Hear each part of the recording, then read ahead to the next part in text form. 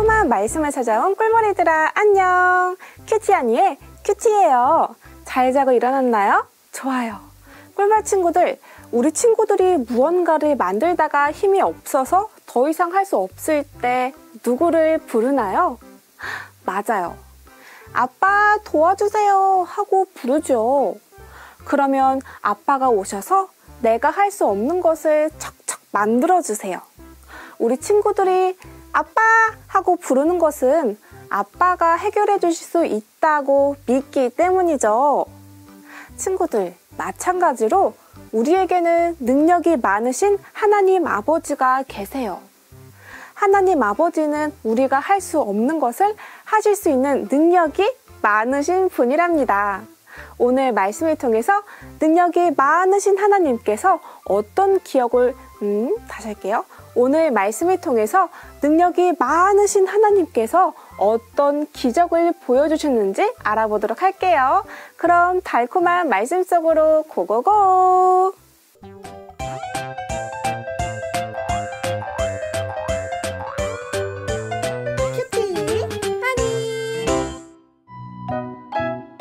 예수님의 능력을 온전히 믿어요.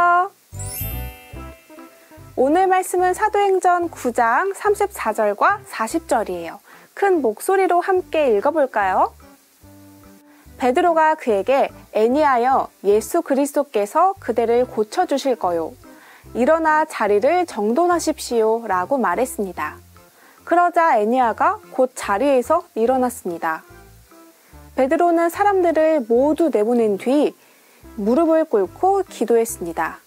그리고 나서 시신을 향해 몸을 돌려 다비다여 일어나시오 라고 말했습니다. 그러자 다비다가 눈을 떠서 베드로를 보더니 일어나 앉았습니다.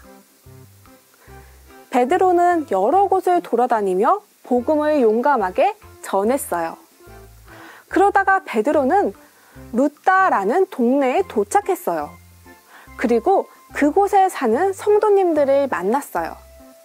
성도님들 중에는 애니아라고 하는 사람이 있었어요. 애니아는 중풍병에 걸려서 8년 동안 일어나지 못하는 사람이었어요. 걷지도 못하고 앉아만 있으려니 참 힘들었겠죠. 베드로는 예수님께서 애니아를 고쳐주실 거라는 믿음이 있었어요. 그래서 애니아에게 다가서서 이렇게 말했어요. 애니아, 예수님께서 고쳐주실 거예요. 일어나세요.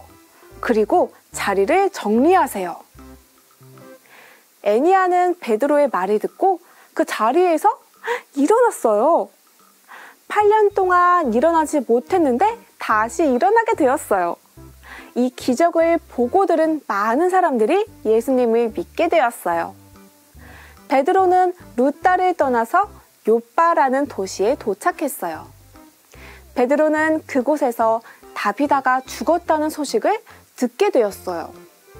다비다는 교회에서 어려운 친구들을 잘 도와주어서 친구들과 이웃들에게 사랑을 많이 받은 사람이었어요.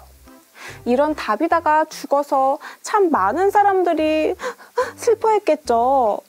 이 소식을 들은 베드로는 다비다가 누워있는 방으로 찾아갔어요. 그리고 사람들을 방에서 다 내보냈어요. 베드로는 잠시 눈을 감고 하나님께 기도했어요. 그리고 누워있는 다비드를 향해 이렇게 이야기했어요. 다비다, 이제 일어나세요.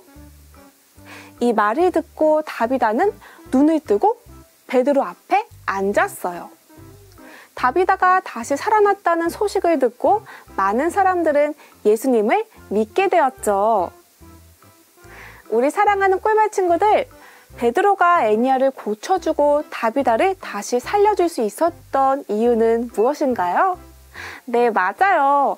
바로 베드로가 예수님의 능력을 온전히 믿었기 때문이에요. 하나님께서는 베드로의 믿음을 보시고 놀라운 일을 보여주셨어요. 사랑하는 꿀벌 친구들, 우리도 열심히 복음을 전하다가 혹은 열심히 하나님을 위해서 일을 하다가 어려운 일이 닥치면 어떻게 해야 될까요? 맞아요. 능력이 많으신 예수님을 믿고 기도해야 돼요. 우리 친구들이 아빠 도와주세요 라고 부르는 것처럼 하나님 아버지 도와주세요 라고 기도를 하기를 바래요. 오늘 하루도 능력이 많으신 예수님을 믿고 기도하는 우리 꿀벌이들이 되기를 바래요. 알겠죠? 그럼 우리는 내일 또 반가운 모습으로 다시 또 만날게요. 안녕!